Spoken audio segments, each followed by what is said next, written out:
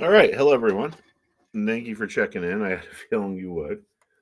Pretty wild day in the market, but this just tells or this just shows us markets can go down. And when people get really euphoric like they've been, when the magnificent seven becomes a household name, when you have all these extreme readings going on at various places, that sets the stage up for a move lower. And really, what happens is we can sit here and talk about the news, but ultimately, the market is about supply and demand. And if people are really bullish and positive, what do they do? They invest all their funds. And at some point, they run out of money to buy more. And then the market stops going higher because it's run out of buyers.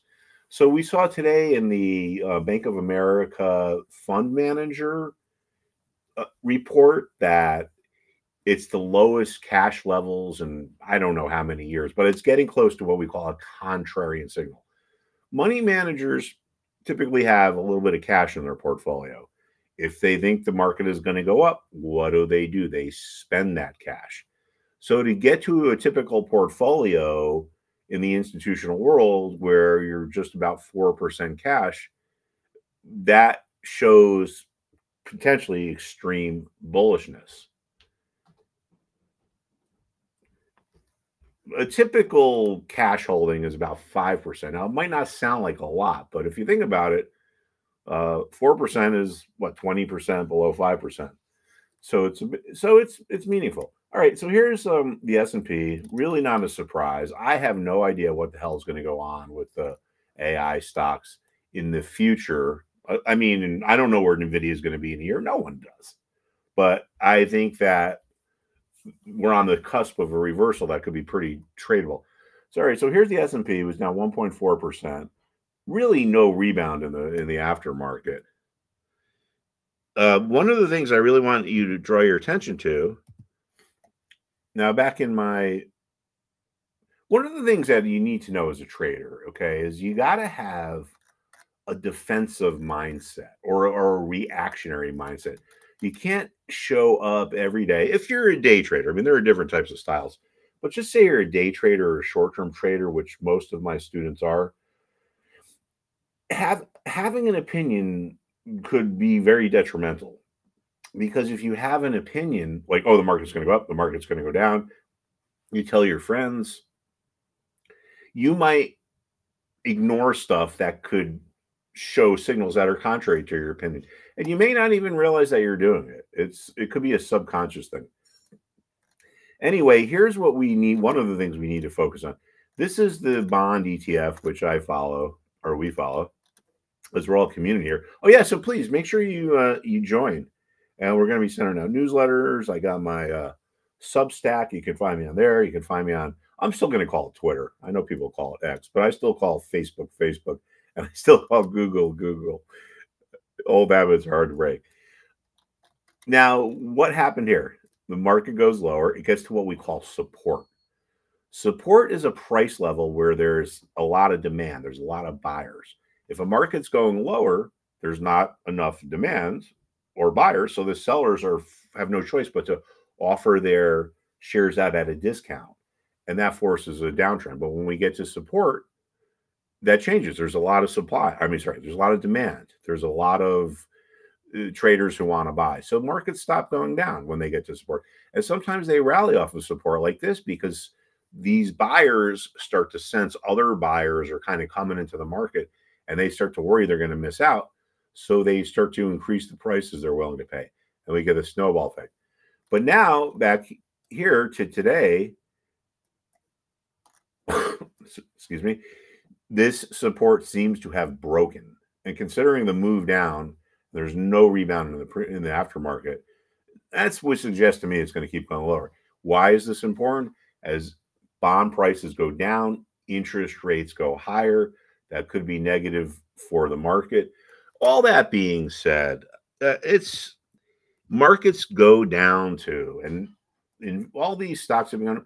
Did you know that the value of the Magnificent Seven is greater than the value of all the stocks in Japan, Britain, and one of the one other country over there. I don't know.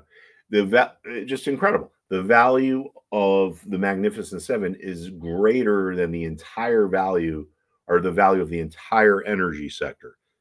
So we're definitely getting to extremes, but extremes can go on for a long time. Bubbles can go on for a long time. So what I tell people is if you're long, just stay long, but just be ready to react quickly. Because in markets like this, when the reversal comes, and it will, I don't know if it's tomorrow, I don't know if this is it, they tend to reverse quickly. It's not going to be something that's slow. All right, so let's just check a couple things out here. So Apple's not doing much in the pre-market. It was down about 1% today. 1.1%, sorry. NVIDIA, eh, eh, pretty much flat today.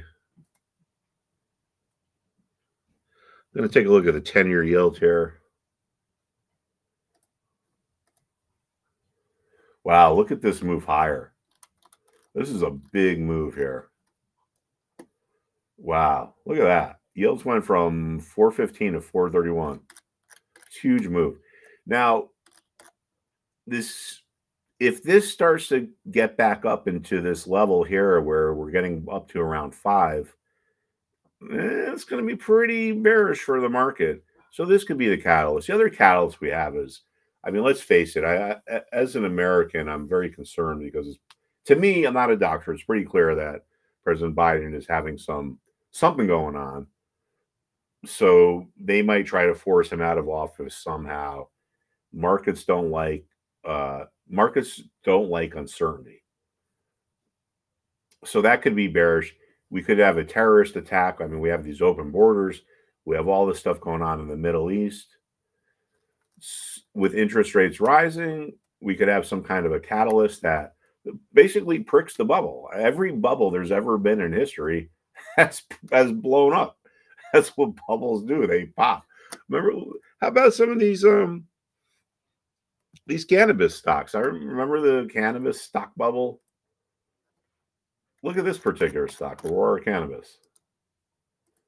This thing was got up to 100 and about 50 dollars a share. It's at 39. This is this just shows you. I'm not saying Nvidia is going to go. I, and I meant 39 cents. I'm not saying Nvidia is going to go that lower, but things don't go up forever. It's a market. I would be positioned to the short side. Please come back and uh, check us out because I pretty much talk about the markets every day.